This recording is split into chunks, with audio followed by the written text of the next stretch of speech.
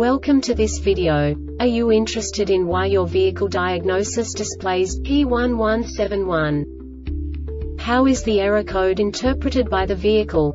What does P1171 mean, or how to correct this fault?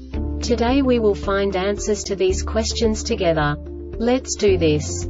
First, let's look at the history of diagnostic fault code composition according to the OBD2 protocol, which is unified for all automakers since 2000.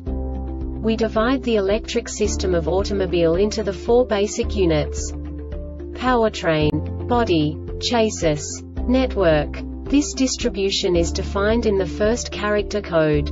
If the second character is expressed as zero, it is a standardized error. In the case of numbers 1, 2, 3 it is a more prestigious expression of the car-specific error. The third character specifies a subset of errors. The distribution shown is valid only for the standardized DTC code. Only the last two characters define the specific fault of the group. Let's not forget that such a division is valid only if the other character code is expressed by the number 0. Our website airbagreset.sk produces useful videos for you.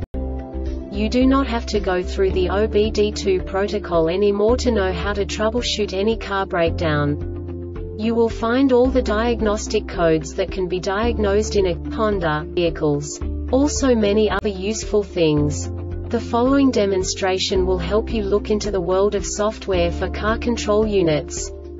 You unbelievably can move the video a bit further. The error code is split into two bytes consisting of 16 bits.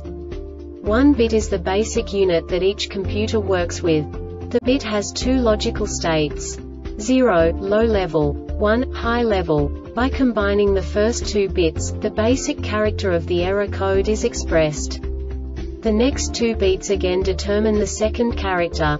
The last beat styles of the first byte define the third character of the code. The second byte is composed of a combination of 8 bits.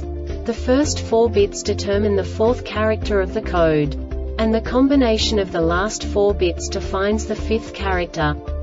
A single byte conceals 256 possible combinations.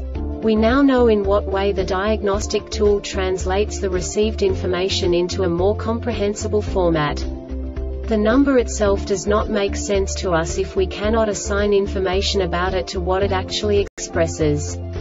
So, what does the diagnostic trouble code P1171 interpret specifically Honda car manufacturers? The basic definition is AV Control Unit, Internal Communication.